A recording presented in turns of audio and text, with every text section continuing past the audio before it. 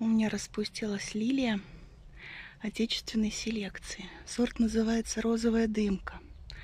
Автор сорта Маргарита Киреева. Мичуринск, 1985 год.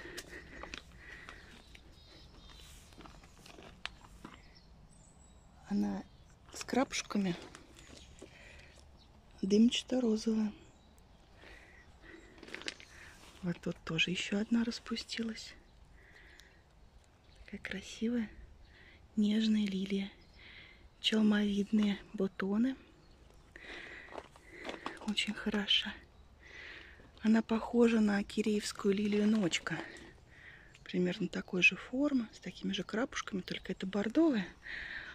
А розовая дымка дымчато-розовая. Как сейчас говорят, цвет пудра похоже на пудру. Розовая дымка. Видеопортрет растения.